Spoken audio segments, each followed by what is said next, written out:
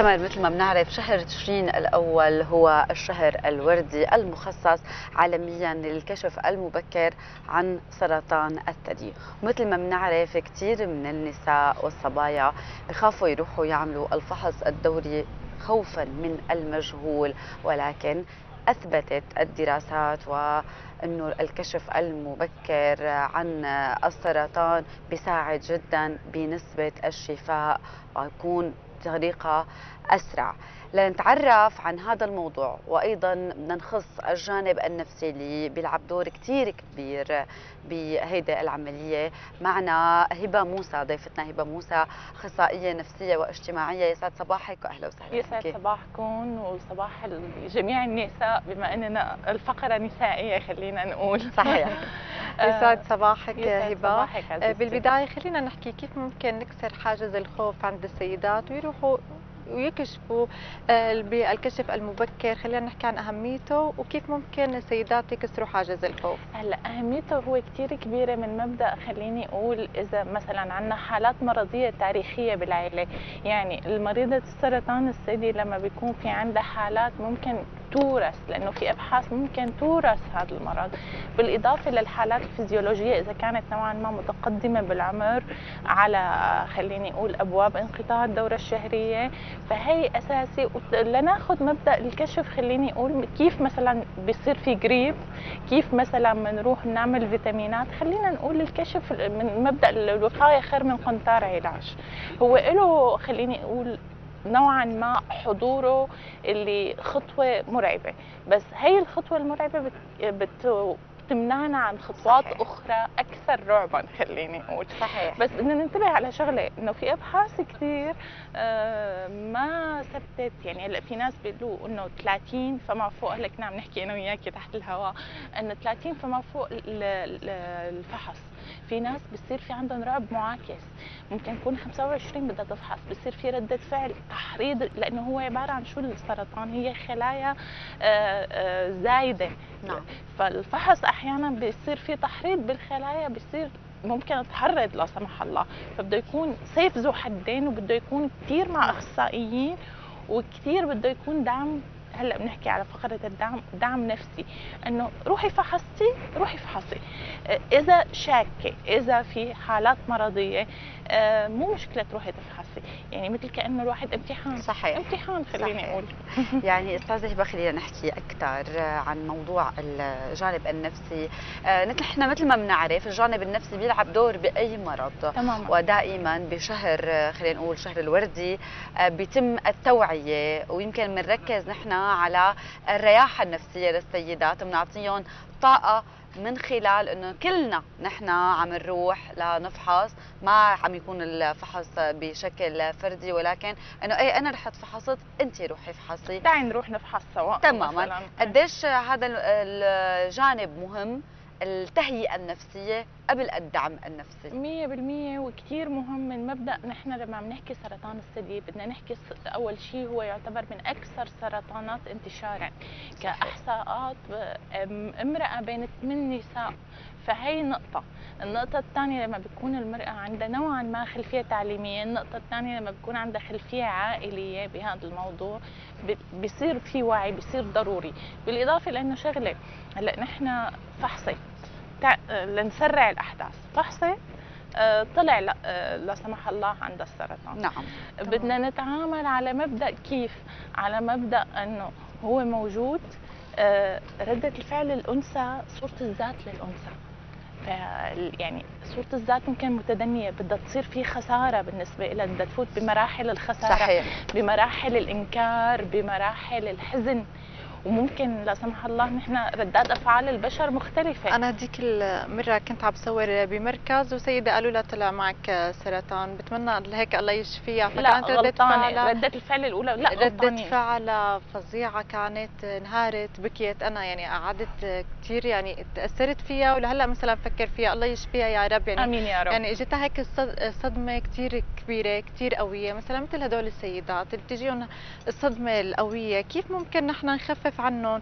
كيف ممكن يتقبلوا مرحلة العلاج برأيك هبة مراحل الصدمة ما فينا ما نقطعها لأنه هي تسلسل هي صدمة هي خسارة هي إنكار بعدين بتفوت على مرحلة التقبل. فالمراحل ما لازم نختصر منها شيء بالعكس تمام. بتضر الأنثى. صحيح. لما بتفوت بمرحلة التقبل هون بصير في دعم إلها ودعم للمحيط سواء متزوجة أو غير متزوجة. لأنه ردة فعل المحيط من مبدأ مثلا في علاج كيميائي في خسارة شعر في أكثر من قصة. خلينا نبلش بالدعم إلها. الدعم إلها أنه صورة الذات في عمليات تجميل كثير إذا لا سمح الله ودتها لأستئصال الثدي في عمليات تجميل نوعا ما بتعدل. بصير في تأقلم بصير في حالة خليني أقول إنه أنا أنثى أنا ناقصة عن الكل. لا أنت بالعمليات التجميل بتكملي. هي نقطة. النقطة الثانية إنه خسارة الشعر في معادله بهي القصة. بننتبه على شغلة إنه أحيانا مصطلح مريضات. أنا أنا بقوله بتجيني حالات مثلا بتجيني بطلات بطلات سرطان الثدي. لأنه هن عبارة عن طاقة كامنة هائلة بس بد- بدنا نعرف كيف نوجهها. وقلنا أكبر مثال بسيدة ياسمين السيدة الأولى. يعني قديش كانت تعطي الست أسماء كثير طاقة للي حواليها وكثير مستمرة رغم الفترة العصيبة اللي مرت فيها. صحيح. وكمان المثال لدعم آه، الدكتور بشار الأسد الرئيس قديش كان في داعم وقديش كان مشارك؟ دعم الزوج. هذا المثال الإيجابي وهذا المثال المطلوب. في عندي أنا حالة آه، زوجها لا أنت ما صرتي أنثى. لا بلشت المشاكل. لا أنت مالك مقبولة. لا أنت صحيح. في دراسات اللي ما عندهم دعم نفسي فهن الأكثر خليني أقول تدهورا بمرحلة الإصابة. وبدنا ننتبه شغلة طالما كشف مبكر وطالما كشفنا وصارت الحالة اسم مبكر ممكن تكون حالات مبكرة.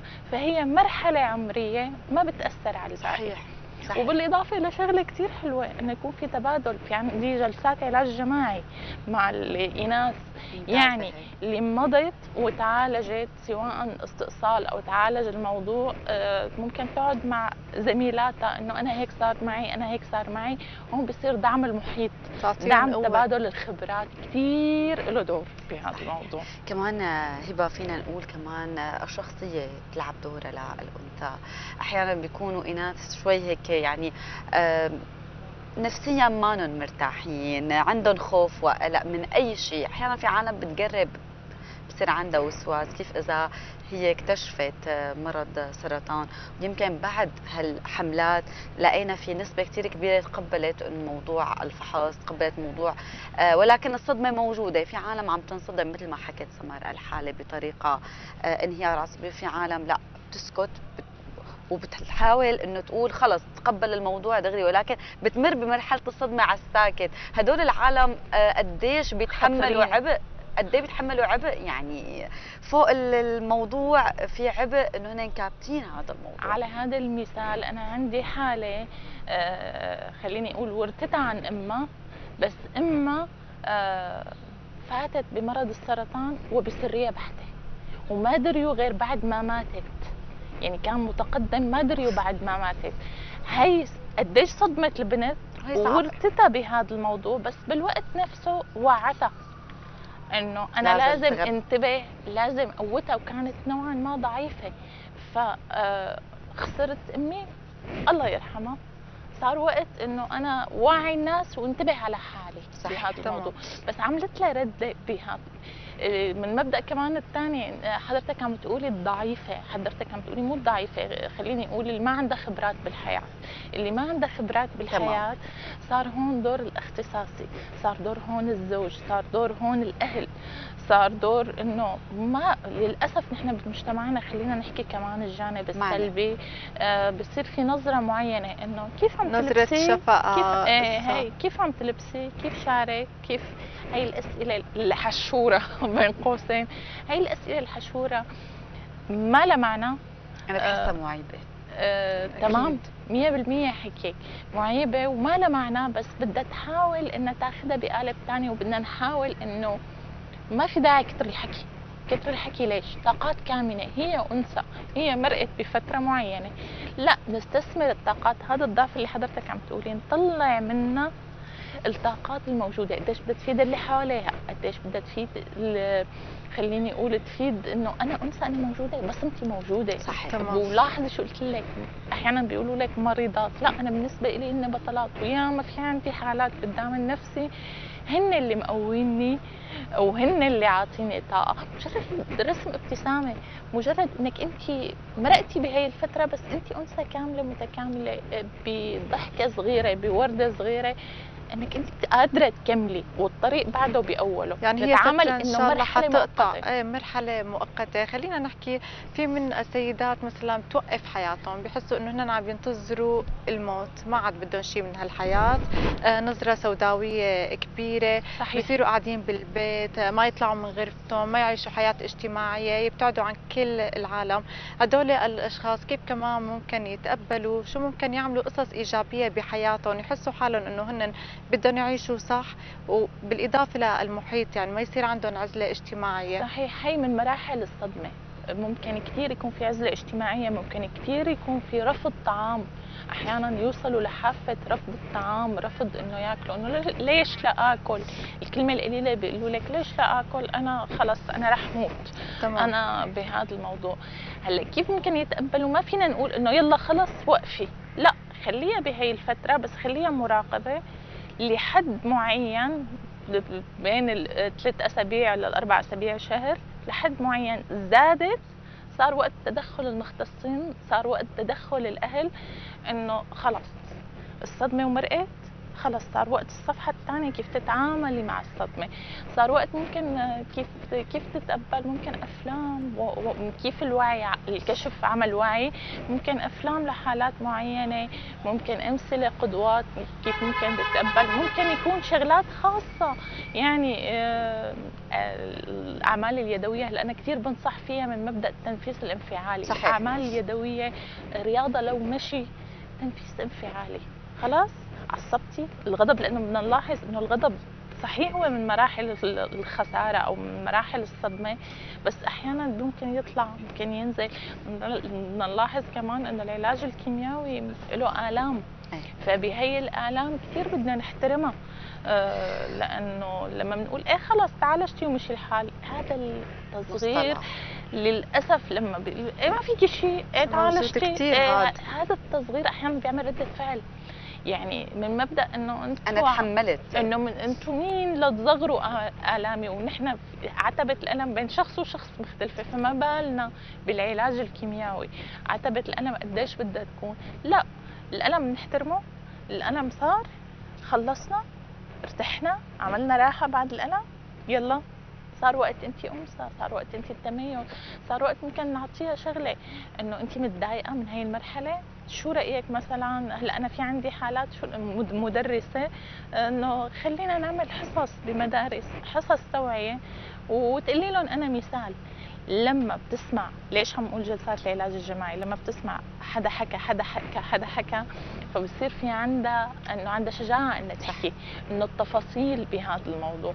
وبالإضافة إلى انه بدها مساحة أمان بدها شخص يحكي لها كل شيء. الآلام وتبكي وتضعف وبكل شيء سواء متزوجة أو غير متزوجة. هاي المساحة الأمان كثير مقدسة. نعم. إن شاء الله يا رب هيك بعد هالحديث معك هبة نكون نحن استفدنا وأكيد جميع السيدات والرسالة تكون وصلت. إن شاء الله. بدنا نتمنى الشفاء العاجل للجميع. بدنا نتمنى أيضا إنه عن جد مثل ما ذكرتي الكشف المبكر والتوعية أساسي بهذا الموضوع. وبدنا نشكرك لك أكيد. شكرا لكم وإن شاء الله أيامنا كلها وردية. إن شاء الله. شكرا لك وأكيد بنتمنى الصحة والسلامة للجميع. شكرا, شكراً لكم لوجودك